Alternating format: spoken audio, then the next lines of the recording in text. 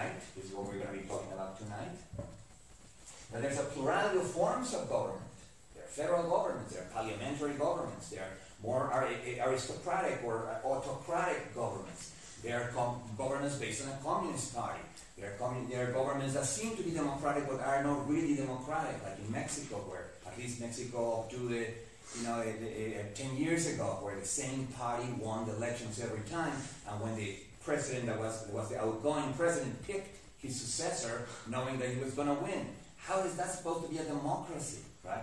So there's all kinds of governments, and what we need, just like with the species, what we need to know is how is the variation distributed, right? Yesterday we talked about that. We're not, we're not concerned about what all of them have the same what, what they, they share the same, what essence do they have in common?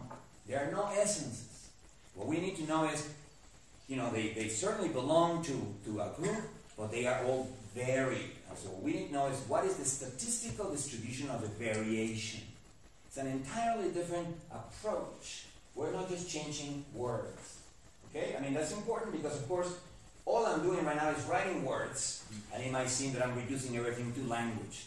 But I'm giving you examples about practice, about people staging demonstrations and extracting rights from the state, about people interacting in communities, making promises, uh, uh, uh, uh re- reciprocating favors, which are not linguistic. Right? Because I said, in a community, talk is cheap. What counts is action. Actions speak louder than words. You pay back your favors, you reciprocate your, you honor your commitments, they respect you. You dishonor your commitments, they don't respect you. Whatever you say. Right? So I'm giving you examples of action, but of course I'm using words to talk about it. But that, that it would be kind of tricky to blame me for that, unless you want me to start talking with like sign language. No, I'm just thinking about the doing away with concepts entirely. Um, and while you know the, the Humean argument definitely seems to uh, well, no, but you also, you know, one problem with Hume is that he basically concentrated at this level. Yeah. When he talks about social matters, and he just jumps directly to society as a whole. Society as a whole it doesn't exist. There is no such thing as society as a whole. Or there's no such thing as the American people.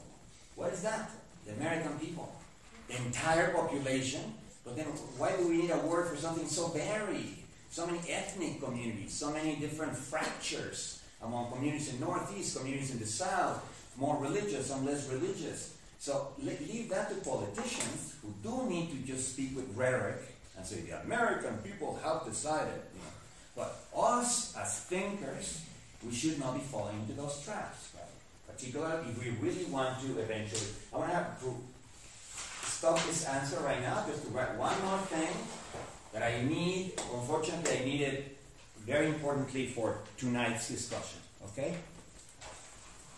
Now, in the previous diagram,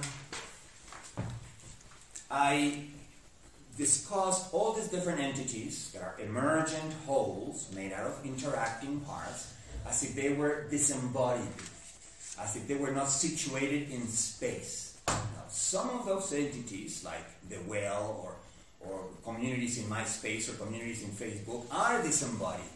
And in fact, they are not located in any space except cyberspace.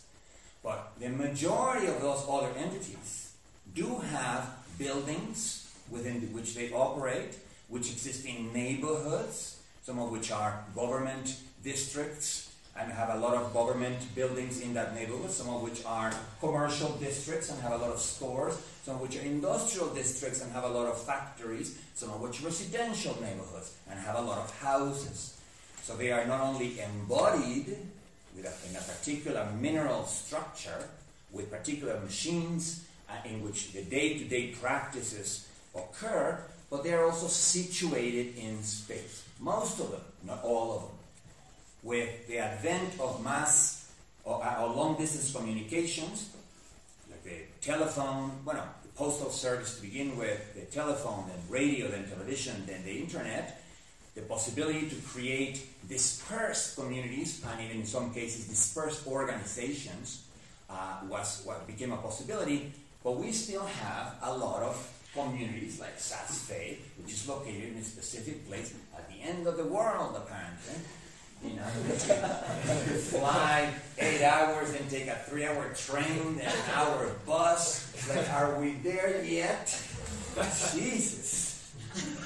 So I need to add something about speciality. I need to add something about the, the locales within which many of those practices take place, even though we all agree that with the telephone and the postal service and the internet, certain practices can take place at a distance. The telegraph is another example, and the railroad is another example.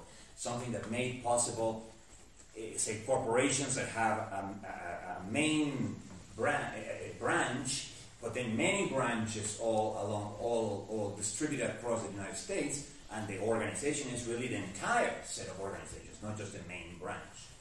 So, accepting that, let me draw a simplified diagram of how this would be. It needs to be a part to whole relationship.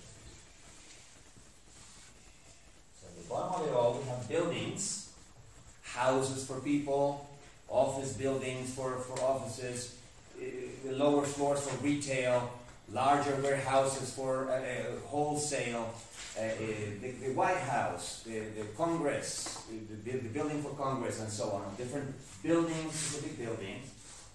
many buildings, and I'm going to draw first my arrows, that are the emergence arrows, form a neighborhood.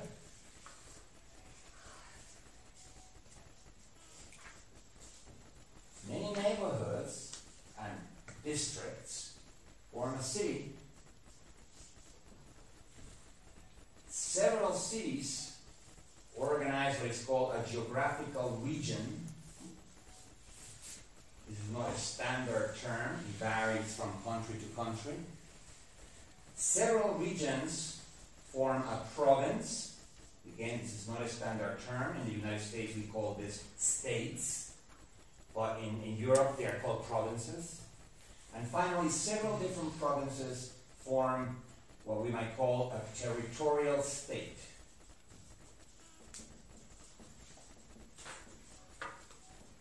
Which can be a variety of things. Can be empires, can be kingdoms, can be nation states, and others. And I want to give here an exhaustive list. They are territorial states in the sense that they they joined together several provinces of several states. In the case of the United States, the provinces were the third, the original 13 states after the War of Revolution, or the War of Independence, as it should be called, really. It wasn't a revolution, it was a war of independence. They came together and they formed the United States. Then other colonies kept adding themselves up. But once some of them began to disagree with the federal government, they threatened to secede. They, they, they threatened to break up the territory into two. And you had a civil war to keep them together. So now, let me add my other arrows before I start getting brief for this. By you know who.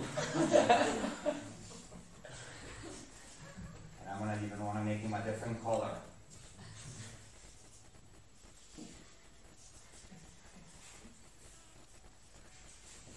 Why only two colors?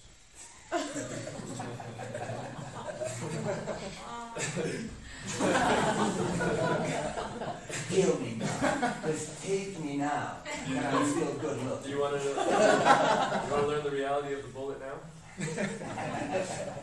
That's right. The materiality of a bullet in your brain. Oh, how I wonder. so, this, so this is simpler than what we saw before because there's not this branching areas. But at the same time, there are many caveats or many things that I need to, excuses or things that I have to say. Well, it is not as simple as it seems. Yes, we agree that if you put many houses together, you get yourself a neighborhood. If you put many offices together, you get yourself an, an office, a commercial district, or you know many retail stores together, you get a commercial district. If you put many factories together, each one in their own building, you get an industrial.